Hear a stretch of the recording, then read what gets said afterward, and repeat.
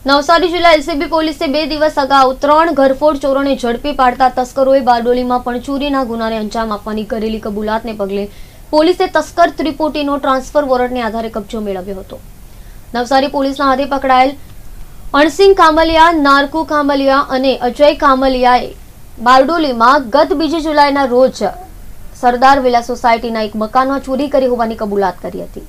બારડોલી પોલીસે ત્રણેય આરોપીઓનો વોરંટથી કબજો લઈ વધુ તપાસ માટે પાંચ દિવસના રિમાન્ડ મેળવ્યા હતા. બારડોલી નગરમાં છેલ્લા દોઢેક માસ ઉપર સરદાર વિલામાં ઘરફોડ ચોરી થયેલી છે.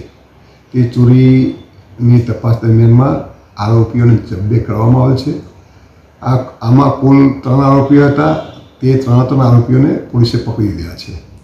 આ ચોરીની ઘટનામાં તેઓએ અગાઉ જેટલી ચોરી કરી છે તે જોતાં તેઓનો ઇતિહાસ અને જોતાં અસંખ્ય ગુનાઓ ચોરી કરી છે અને તાજેતરમાં તેઓએ બારડોલી નગર તેમજ નવસારી, અંકલેશ્વર, ભરૂચ તેમજ સુરત ગ્રામીણ જિલ્લામાં અલગ અલગ જિલ્લાઓમાં અલગ ઘણી બધી ચોરીઓ કરેલી છે. તેઓની આજે પૂછપરછ કરતાં અમે જગ્યાનું રિકન્સ્ટ્રક્શન પંનામું કરવામાં છે.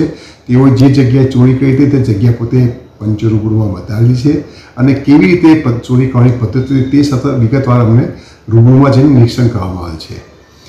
આ આરોપીઓ પાસેથી જે મુદ્દામાલ ગયો છે તે રિકવર કરવાના અત્યારે પ્રયત્નો ચાલુમાં છે. આરોપીની ધરપકડ કરી અને રિમાન્ડની માગણી કરતાં રિમા પાંચ દિવસના રિમાન્ડ આપવામાં આવ્યા છે.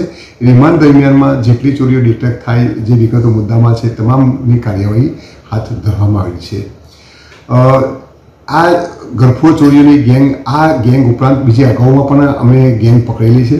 અને તે ઉપરાંત અલગ અલગ જગ્યાઓ જે ચોરીઓ થયેલી છે તે દરેક અલગ અલગ પ્રકારની ગેંગો સક્રિય છે. આ જે ગેંગ છે મધ્યપ્રદેશની, જાંબુઆ વિસ્તારની છે. તેમજ બીજી મહારાષ્ટ્રની ગેંગ છે, બીજી દાહોદ ગોધરા તરફની છે. આ રીતે અલગ અલગ ગેંગો સક્રિય છે. જે મોટાભાગની ગેંગોને જબ્બે પોલીસે કરેલી છે. અને હાલમાં એક ગેંગ નાસ્તી પડતી છે, તેને પકડવાના નામો મેળવી લીધા છે, પકડવાના પ્રયત્નો પૂરતા ચાલુમાં છે. આ ગરફો ચોરીઓ અટકાવવા અને શોધવા માટે પોલીસનો પણ ખૂબ જ સહકાર મળી રહ્યો છે જેથી પોલીસનું પણ મનોબળ ઊંચું આવે છે અને પબ્લિક જનતાનું પણ મનોબળ ઊંચું આવે છે. અને અમારા પૂરતે પૂરા સઘન પ્રયત્નો ચાલુમાં છે. જય હિન્દ.